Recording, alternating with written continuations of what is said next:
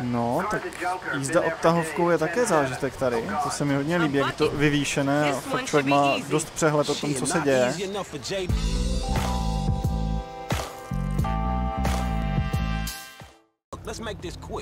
Tak jo, jdeme pomoct tady bývalé kamarádce. Vidíte, že mám trošku už zdemolované auto, ale to vůbec nevadí. Stejně teďka pojedeme odtahovkou a získáme tím pádem nový vůz. Tak, jdeme. Tak v těch amerických hororech vždycky už vás to pro následuje v noci, toto auto přesně.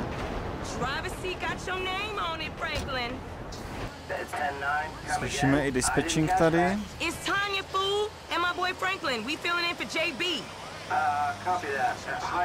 No, tak jízda odtahovkou je také zážitek tady. To se mi hodně líbí, jak to vyvýšené a fakt člověk má dost přehled o tom, co se děje. Si pamatuju, že když jsem udělal řidičák, tak hnedka za tři týdny jsem měl brigádně jezdit pro poštu s dodávkou a to byl zážitek. To pak člověk přestoupí do osobáku a má pocit, že jede po zadku, protože fakt si zvyknete na ten vyvýšený pocit, na ten přehled. Takže i teďka vidím toho mnohem víc, než když jezdím v osobáku. Z tohoto pohledu tam bude celkem těžké zaparkovat, ale budu důvěřovat tomu, že to nenabořím. Musím ještě trošku zacouvat.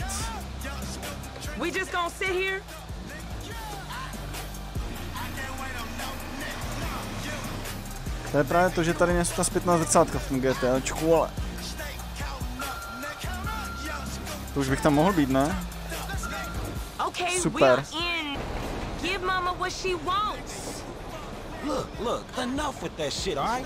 Ain't a crime to let my man know where it's at. I'll see you on the block. Anything you need, you holler at me. Now, where is that fool? Mise splněna. Tak toto byla pro mě opravdu příjemná mise. Doufám, že se vám taky líbila. Auto jsme trošku sice pobouchali, ale prostě nemělo tam parkovat na zákazu.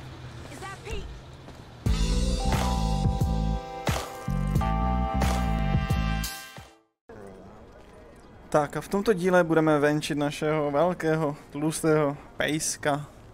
Takže se máme na co těšit.